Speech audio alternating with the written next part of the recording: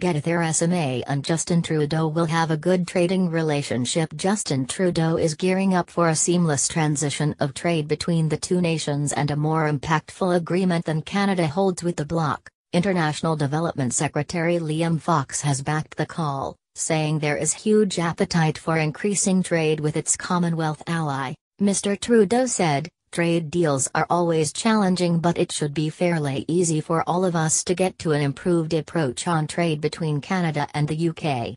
The Canadian leader signaled an ambitious approach to trade, saying a carbon copy of the Comprehensive Economic and Trade Agreement, CETA, with the bloc was appropriate in the short term, but he wanted to go further. He said, there will be things in CETA that are no longer as necessary between Canada and the UK, and there'd be other areas where we would be interested in going further.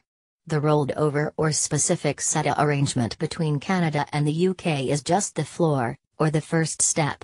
After that, we very much look forward to negotiating an even better or larger or more impactful deal to encourage the deepening of trade ties between Canada and the UK.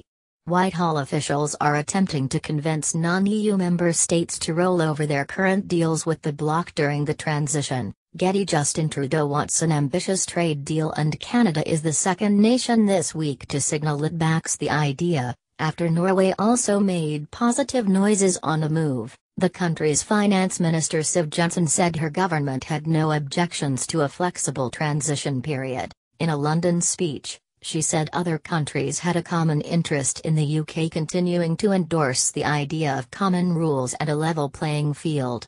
Getty Norway is also positive about Brexit trade. There had been fears countries would demand concessions from Britain in return for rolling over their deals. One such country is India, which is pushing for a relaxation on visa restrictions.